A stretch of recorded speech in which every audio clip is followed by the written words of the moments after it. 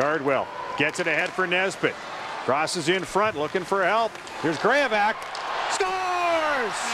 Shane Prince on a beautiful pass from Graovac. We're tied at four.